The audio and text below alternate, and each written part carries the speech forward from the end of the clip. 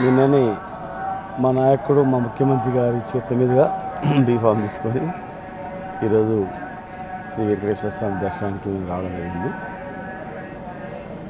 గత పది సంవత్సరాల్లో పేద బడుగు బలహీన వర్గాలకు రైతులకు పేద వర్గాలకు విద్య వైద్య ఆరోగ్యం వ్యవసాయం ఉపాధి అవకాశాలు కలిగించి తెలంగాణ రాష్ట్రంలో పేదరిక నిర్మూలనకు దేశానికి అన్నం పెట్టే స్థాయికి తీసుకొచ్చి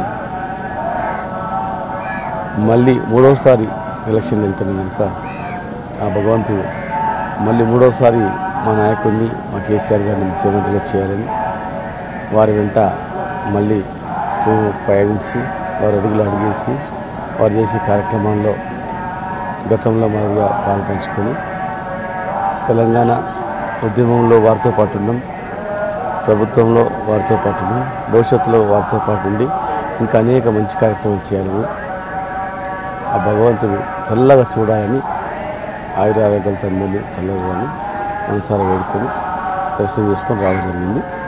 ఖచ్చితంగా భవిష్యత్తులో ఇంకా అనేక రకాలుగా దేశంలోనే ఒక అత్యున్నత రాష్ట్రంగా తీర్చిదిద్దడంలో మా ముఖ్యమంత్రి మన ముఖ్యమంత్రి బాధ్యత ఇంకా పనిచేస్తారని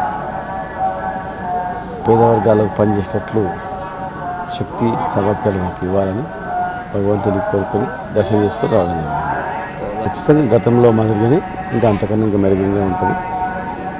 మూడోసారి ముఖ్యమంత్రిగా ప్రమాణ స్వీకారం చేస్తారు. వారితో పాటు ఉంటాం.